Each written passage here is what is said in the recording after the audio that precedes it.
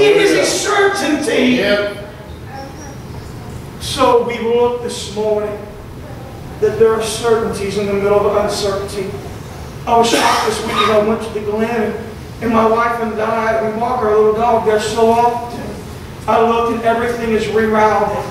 It's rerouted. I see banks move that, that were once there, Sister Jan. I see water flowing where we walked on dry ground. I see just the whole, uh, the whole uh, elements of things changed around. I see pavement picked up and, and just like it was picked up and moved to, to a different place in great big sheets. It, it, it was mind-boggling to me. I looked at pictures on the news. I see roads removed and gone away that, that certainly looked like they would be there for a very uncertainty, I want to tell you that there are certainties. We will die. I want you to know that we will stand before God. In the middle of uncertainties, it is certain we will stand there. And it is certain that Christ gave his life for us. But the fourth certainty is this, is that he is coming again. The Bible says, and they looked, for him shall appear the second time without sin unto salvation. You see, he came as a helpless baby the first time. But the next time he comes back, he is not going to come as a lamb, as a sacrifice, but he's going to come back as the lion. He doesn't need those twin towers that went down 10 years ago to set up his kingdom. He doesn't need the United Nations to set up his kingdom, but he is going to set up his kingdom with certainty.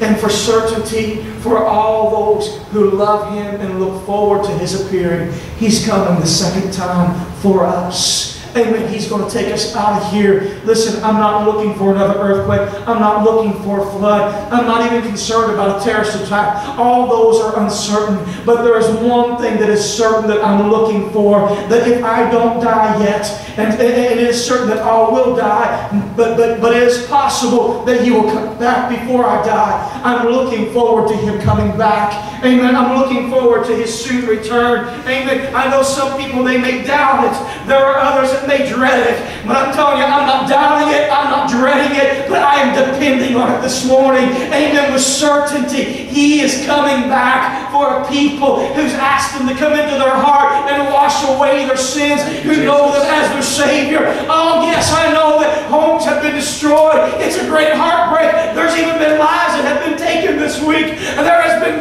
eagles that have been swept away. Amen. But with certainty this morning, amen, I know that He's coming back. I can't depend on my vehicle. I can't depend on any other relationship. I can't depend on my job or money. I depend on Him. Yep. Because with certainty, He will come back. He's going to appear as, as a bridegroom as he comes to get his bride. He's coming back.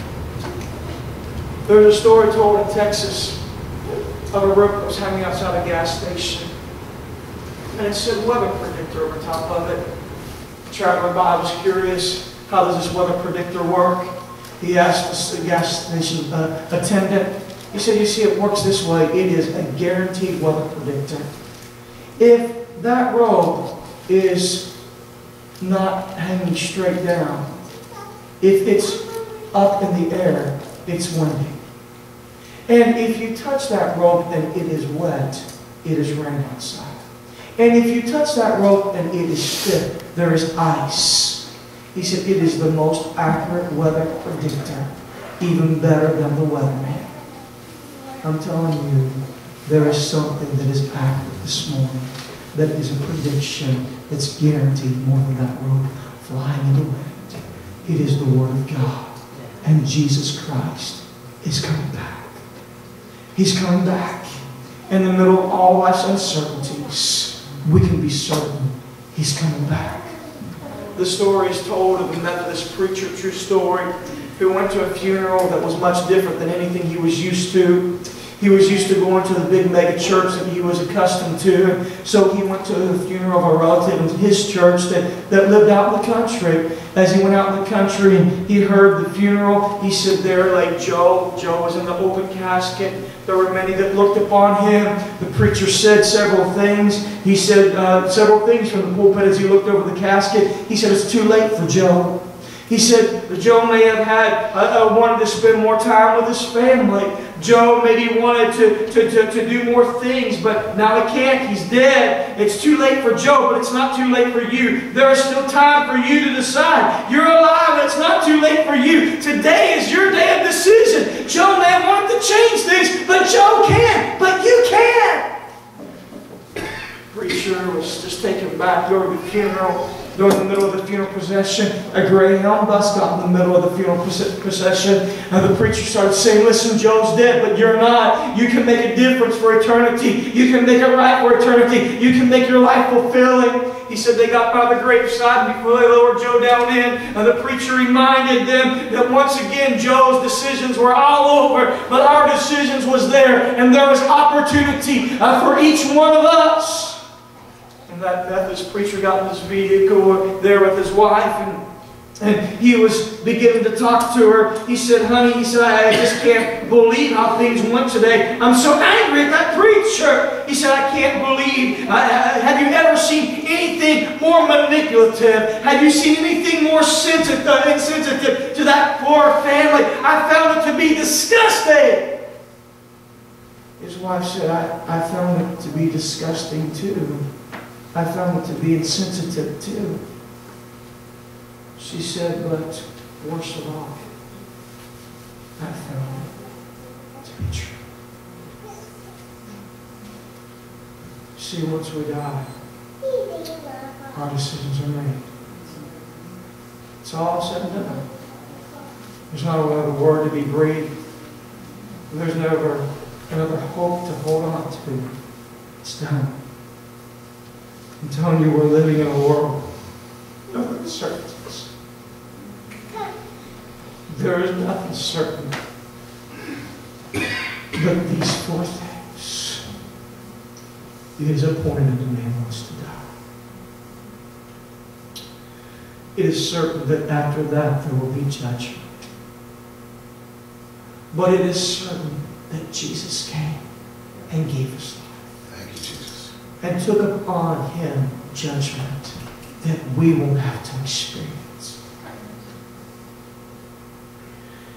And the fourth thing is this, is that he is coming again.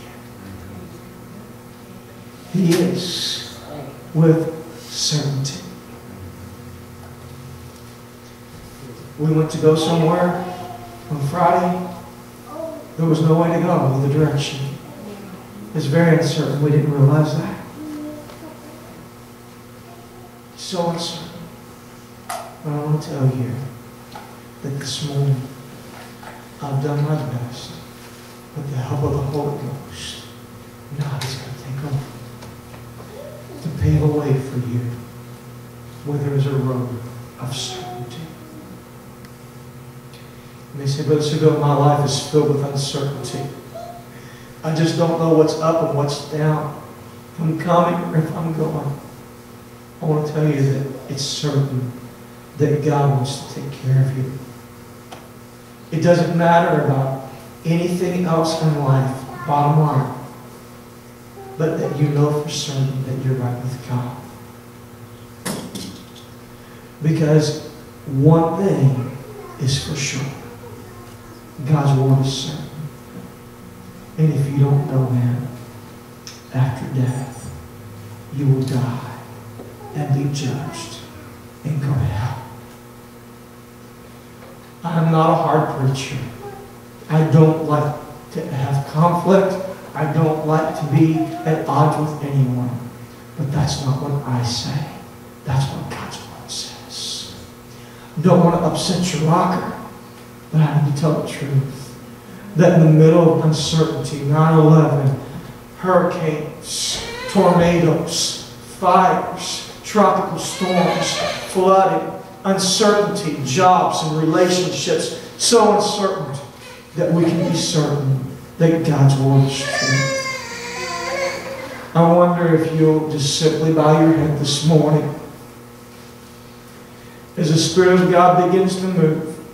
I'm not here to embarrass anyone. If you'll bow your head and close your eyes, no one looking around, I want you to give opportunity to yourself this morning. Maybe you feel that uncertainty in your home, in your job. As you look at community around about you, you feel that uncertainty. As you look at media, as you look at national events, as you look at worldwide events, there's such uncertainty. But God wants to give you certainty in the midst of uncertainty. Maybe you say, Brother Seville, I'm not saved. Pastor, I don't know him as my Savior, but I need to know him that with certainty I'll know that I'll make heaven my home. With no one looking around, I wonder if you would just slip up your hand and say, Pastor, this morning I want to know him with certainty. Would there be someone this morning? Amen. I'm not going to tear you real long, but I want to give you that opportunity. I want to know him with certainty. Is there someone this morning? Amen. God sees that hand. Maybe there's another hand. Someone else this morning, you say, I want to know him with certainty. Because I know that in an uncertain world, death is certain. The Word of God tells me judgment is certain. But God's promise of giving His Son is certain. And if I let Him come into my heart and my life, I can be free from sin. That I can be with Him through all eternity. That's for certain. This morning, this is what I want to do. I want each one of us to gather around that altar, and I want us to make for sure, for certain, that we're right with God. Would you come in? Would you this morning? Amen. We don't need piano music. We don't need anything fancy. All we need is for hearts to be healed and say, I'll come in. I want to know Him with certainty. Would you come this morning? Would you gather in? Everyone this morning, I want to know Him with certainty. I want to know Him with certainty. Hallelujah. I want to know Him with certainty this morning. Amen. That's right. Let's gather around these altars.